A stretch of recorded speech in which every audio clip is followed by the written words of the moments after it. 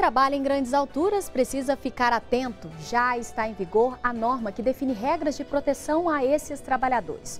O objetivo é aumentar a segurança e evitar os acidentes. Um levantamento do Ministério do Trabalho indica que as quedas são 40% dos acidentes de trabalho. O desafio agora é garantir a aplicação desta norma no ambiente de trabalho. Veja na reportagem preparada pela redação da NBR.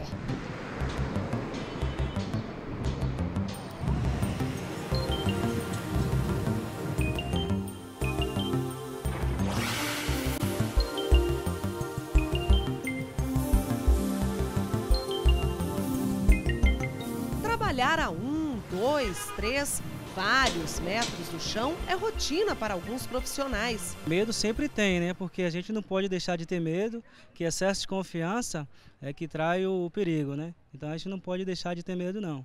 Mas a gente está todo cuidado, todo equipamento, todo bacana. E segurança é palavra-chave para quem trabalha em altura.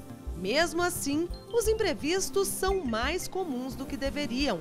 De acordo com o governo, pelo menos 40% dos acidentes de trabalho são quedas. E para tentar reduzir esse número considerado alto, o Ministério do Trabalho definiu requisitos e medidas de proteção para os trabalhadores que atuam nessas condições. Antes, a gente tinha normas de prevenção de acidentes no trabalho em altura para algumas atividades econômicas específicas, para a indústria da construção e para a indústria naval. Agora, com a NR35, essas regras passam a valer para qualquer empresa em que os trabalhadores exerçam suas atividades a uma altura é, superior a 2 metros em que haja risco de queda.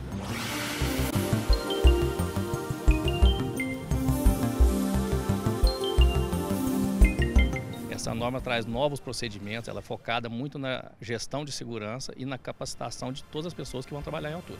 As empresas tiveram seis meses para se adequar até que a norma entrasse em vigor.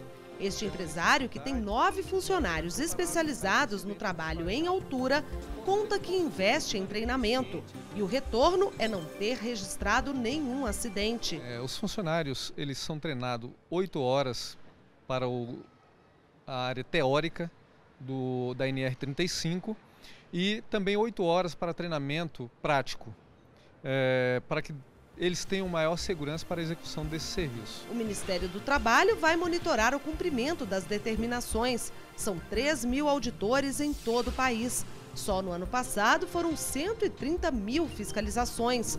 O técnico em segurança do trabalho dá as dicas. As empresas elas vão ter que se adequar mais é, na questão de, de, treinamentos, né? fazer os exames admissionais mais específicos pra, para o trabalho em altura é, e utilizar os equipamentos mais que são obrigatórios né? com relação a esse tipo de trabalho.